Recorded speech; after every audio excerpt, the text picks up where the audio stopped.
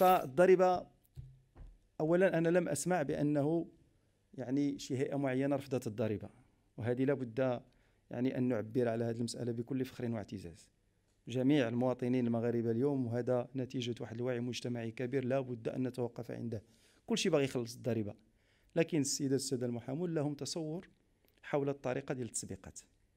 القانون الآن ومشروع القانون هو في طور الدراسة والحكومة جلست مع هؤلاء يعني المحامون في جو من الحوار المفتوح وتدرس كل الامكانيات وأنا متأكد بأنه سوف نصل إلى حل بخصوص مسألة التسبيقات الضريبية. لأنه بالفعل كاين صعوبات على مستوى التطبيق ظهرت الآن في النقاش المشترك.